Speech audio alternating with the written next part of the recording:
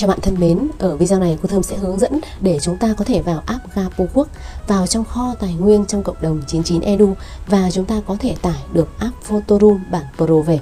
Rồi khi mà chúng ta vào trong app Gapo Quốc rồi thì các bạn sẽ à, có tài khoản đúng không ạ? Ai mà chưa có tài khoản và ai mà chưa được vào đây thì inbox cô Thơm để được hướng dẫn tạo nhé.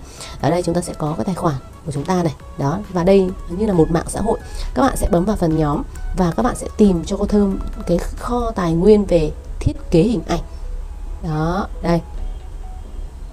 Đây, kho tài nguyên về thiết kế hình ảnh các bạn sẽ bấm vào. Đó và ở đây chúng ta sẽ vút lên, các bạn sẽ bấm chủ đề.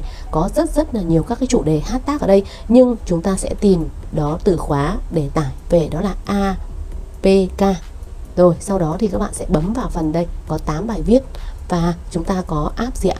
À, app thiết kế logo mockup hay hoặc là app Photoroom và rất là nhiều app khác.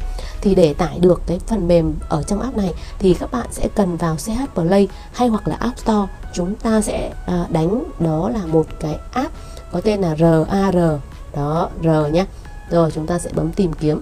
Và đây chính là cái app RAR các bạn nhớ biểu tượng này. Và đây có thơm tải rồi nên là chỉ cần bấm mở thôi. Còn các bạn chưa có thì sẽ bấm cài đặt nhé rồi và bây giờ mình sẽ trở lại phần à, chúng ta sẽ bấm thì các bạn muốn tải, các bạn sẽ bấm vào đây. Rồi, sau đó thì các bạn sẽ bấm Dimit. Ok, khi bấm Dimit xong thì chúng ta sẽ bấm lên một cấp. Rồi, và chúng ta sẽ bấm vào đây, dí tay vào đây. Chúng ta dí tay vào, các bạn dí tay vào. Sau đó thì các bạn sẽ cần đổi tên nhé, cần đổi tên.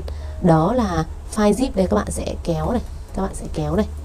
Đó, các bạn sẽ vuốt vuốt ra đây, chúng ta sẽ thấy đằng đằng sau này nó là file zip. Thì chúng ta sẽ cần đổi tên, đó là apk rồi sau đó thì chúng ta sẽ bấm ok. Đó, khi mà bấm ok rồi thì các bạn cũng sẽ đặt tay vô đây nhé. Đặt tay vô đây. Đó, và chúng ta đã cài đặt xong, các bạn sẽ bấm cài đặt và chúng ta sẽ chờ một chút.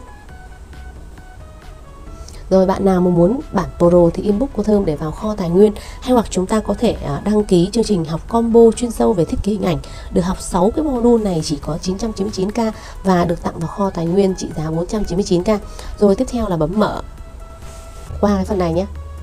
Đó. Ok các bạn sẽ bấm tắt đi. Rồi. Đó và bây giờ ví dụ như là à, trong cái app Photoroom này để cho chúng ta có thể đó là xóa phông một cách rất là đẹp thì các bạn sẽ bấm bắt đầu từ ảnh cho phép.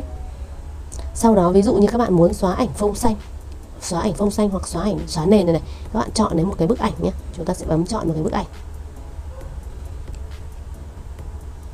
Ảnh này sexy không cả nhà? Rồi thì app Photoroom này xóa rất là sạch luôn.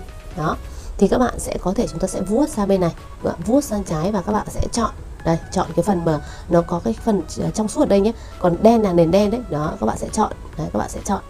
Và chúng ta sẽ à, có thể là ảnh mà chưa được à, căn chỉnh 34 thì các bạn sẽ bấm vào đây để à, đổi kích thước. Thì các bạn sẽ chọn dạng dọc này. Đó dạng dọc. Rồi ok. Đó tiếp theo thì các bạn sẽ à, lưu về. Đây các bạn có thể đó là à, bấm hoàn thành. Đó sau đó thì các bạn sẽ lưu về bấm mũi tên ở đây. Và các bạn lưu về thư viện là chúng ta đã có một cái ảnh file PNG để chúng ta đưa lên chatbot chúng ta sẽ tạo ảnh. Rồi và rất là nhiều các cái tính năng nữa. Đây các bạn có thể xem ảnh hồ sơ này. Đó. Rồi ok. Hay hay hoặc là các bạn có thể vuốt lên. Đấy các bạn thấy rằng là ở đây nó có rất là nhiều đúng không ạ? Đấy rất là nhiều luôn. Ồ có cái ảnh này hài hước quá.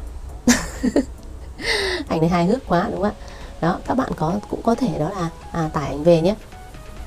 Rồi ok. Đó thì chúng ta cứ vuốt lên chúng ta xem có cái ảnh nào hay thì chúng ta có thể tải về và có một số những cái mẫu rất là đẹp ở đây. Rồi ok. Chúc tất cả các bạn thành công. Xin chào và hẹn gặp lại các bạn ở chuỗi video sau nhé.